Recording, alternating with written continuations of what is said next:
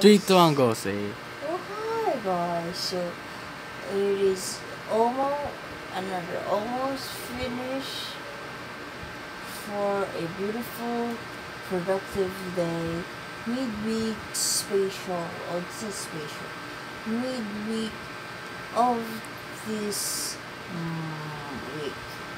And now we're going to take a rest and I hope everyone is also taking a rest by this time. So um, I hope uh, everyone is taking care of themselves and not not um, doing something stupid like spreading the the viruses by being reckless and removing their face masks or um, being comfortable with crowded places. So yeah, you know, yeah, always bring your face mask and always wear, uh, always bring hand sanitizer or alcohol.